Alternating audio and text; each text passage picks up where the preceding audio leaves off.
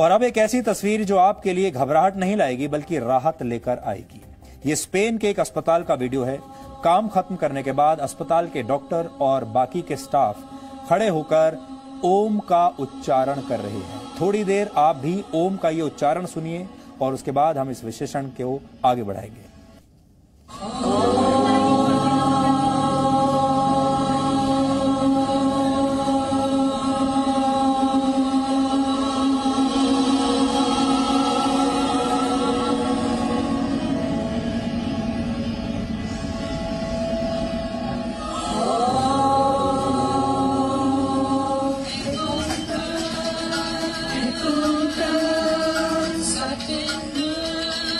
ओम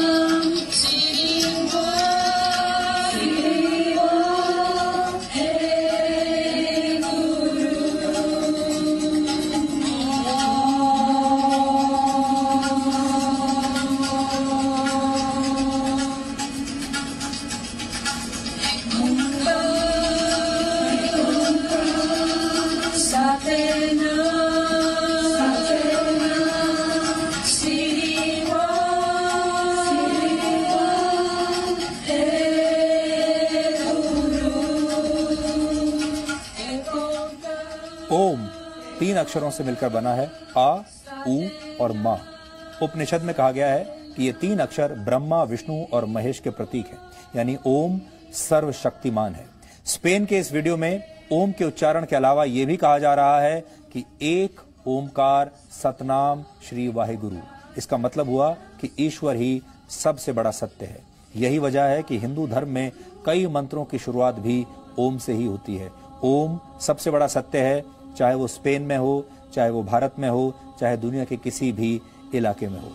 Spain में corona virus से मरने वालों की संख्या 7,300 से ज़्यादा हो गई है। ऐसे में वहाँ यह माना जा रहा है कि भारतीय परंपरा का ओम कोरोना से जीतने में मददगार हो सकता है। यह आपको एक अलग तरह का तरीके का बल देता है आपके मनोबल को बढ़ाता है और आपको शांति प्रदान करता है। माना जाता है कि ओम के उच्चारण से मन स्थिर और शांत होता है, यानी मानसिक तनाव से भी राहत मिलती है। ज़ाहिर है, जब पूरी दुनिया एक वायरस से डरी हुई है, तब मन की शांति हम सब की ज़रूरत है। और इस डर का मुकाबला करने के लिए हमारा साथ दे रहा है ओम का उच्चारण। आप चाहें तो आप भी अपने घरों में रहकर ट्राई कर सकते हैं।